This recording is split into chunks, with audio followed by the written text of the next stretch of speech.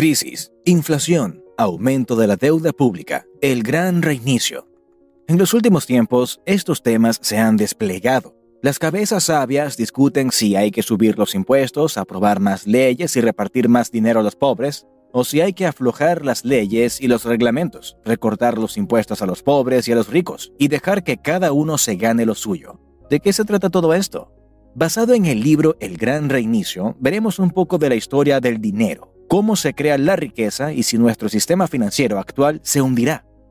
Hace miles de años, el dinero tal y como lo conocemos no existía. Las primeras comunidades crearon un simple sistema de intercambio. Por ejemplo, una gallina podía cambiarse por una lanza, o una piel de animal podía cambiarse por unos granos. Las dos personas implicadas debían llegar a un acuerdo e intercambiar bienes por bienes según sus necesidades, es decir, lo que se conoce como trueque, un intercambio sin dinero.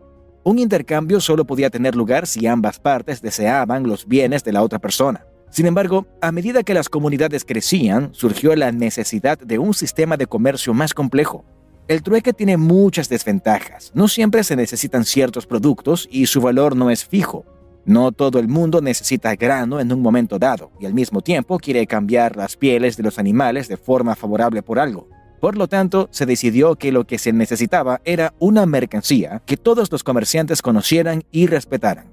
Inicialmente, la sal, la carne seca o dichas pieles de animales podían cumplir esta función monetaria. Sin embargo, más tarde se sustituyó por otra cosa. Estos bienes debían ser fácilmente divisibles, duraderos, portátiles, imposibles de copiar, raros y deseables. El oro o la plata cumplían estas funciones. Desde el año 700 a.C., los pueblos de casi todas las culturas, mayas, incas, egipcios, griegos, romanos, bizantinos y árabes, consideraban el oro y la plata como valiosos medios de intercambio. No había entonces suficiente oro y plata para realizar todas las transacciones dentro de un país, pero las monedas de oro y plata fueron la base de los sistemas monetarios de todo el mundo durante miles de años. Los gobernantes crearon sus imperios con sistemas monetarios en los que el oro era la base. Para no perder el poder tenían que mantener el valor de su propia moneda. Los soldados recibían su paga en monedas de oro y plata, lo que mantenía a los ejércitos de buen humor. Sin embargo, cuando se empezaron a añadir otros metales como el cobre y el bronce a las monedas fundidas, el valor de la moneda disminuyó. Ya no era tan deseable y todo imperio se desmoronó. Con el tiempo, las monedas de oro y plata fueron sustituidas por el papel moneda impreso, que estaba respaldado por el oro almacenado en la caja fuerte de un banco. La impresión de billetes tenía sus ventajas, ya que las monedas de oro y plata no tenían que fundirse ni dividirse físicamente en piezas más pequeñas. Era un sistema de patrón oro. Cualquier poseedor de la moneda local podía ir al Banco Central y cambiarla por oro. Incluso antes de la Primera Guerra Mundial, casi todas las principales monedas del mundo estaban respaldadas por el oro. Así, la cantidad de todo el dinero en circulación correspondía al volumen de oro en las bóvedas de los bancos. La oferta monetaria era limitada. Solo podía aumentar en la medida en que aumentara la oferta de oro. Esto obligó a los gobiernos a ejercer la disciplina presupuestaria, es decir, a gastar solo la cantidad de dinero que tenían realmente cubierta en oro.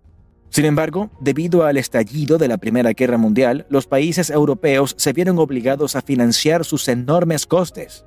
La mayoría de ellos abandonaron el patrón oro en favor de un dinero fiduciario no respaldado por el oro ni por ningún otro activo material.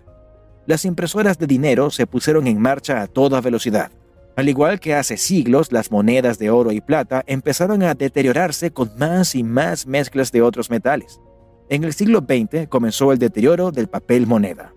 Tras el final de la Primera Guerra Mundial, el ritmo de producción de dinero, con pocas excepciones, no se redujo, lo que fue una de las razones de la crisis financiera en 1929, y la economía mundial se sumió en una gran depresión. Pronto estalló la Segunda Guerra Mundial, que también se financió de la misma manera. Europa fue destruida y el mayor ganador fue Estados Unidos. Durante las dos guerras mundiales, el dólar adquirió cada vez más importancia fuera de Estados Unidos. Además, Estados Unidos se hizo con enormes cantidades de oro. Varios países, entre ellos Gran Bretaña, durante la Segunda Guerra Mundial, pagaron a Estados Unidos en oro que aún poseían en ese momento. El oro también se exportaba de Europa a los Estados Unidos por temor al saqueo de Alemania o de la URSS. Además, Estados Unidos pudo reclamar el botín de guerra por sí mismo tras la victoria. Al final de la guerra, tenían físicamente dos tercios de las reservas financieras mundiales en oro.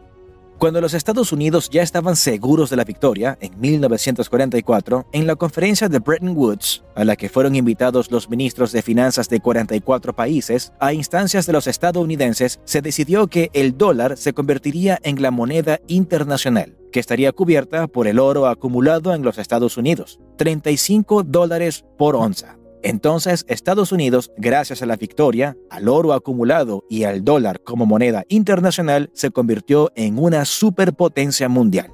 Sin embargo, en 1971, Estados Unidos se alejó del patrón oro. Una vez más, al igual que las monedas de oro y plata, se estropearon hace siglos. Al igual que los países europeos, estropearon su dinero fiduciario durante las guerras. Estados Unidos comenzó a estropear el dólar, su moneda mundial los bancos centrales volvieron a encender las impresoras, tanto de papel como electrónicas. La onza de oro llegó a costar 38 dólares, luego 42 y así sucesivamente. En la actualidad, el dólar y todas las demás monedas, incluidos el euro, la libra y pesos, se mantienen unidos únicamente por la frágil confianza del público. Los países parecen saber lo que está pasando y están tratando de recuperar el oro en poder de los Estados Unidos, Mientras tanto, las impresoras funcionan, la inflación se acelera, la deuda nacional aumenta y la pregunta es, ¿cuándo se derrumbará todo? Bueno, a menos que no pase nada, algunas cabezas sabias creen que el dinero vacío crea riqueza. Pues bien, si encender las imprentas condujera a la riqueza, África no sería un continente pobre y Argentina sería un país rico, en lugar de declarar la bancarrota ocho veces.